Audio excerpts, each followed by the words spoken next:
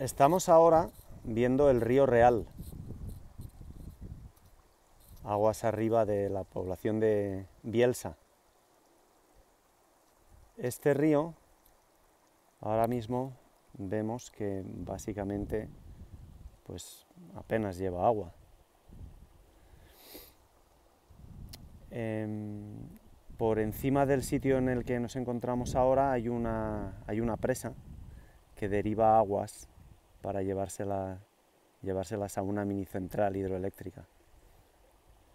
Desgraciadamente, básicamente, deja el río sin agua.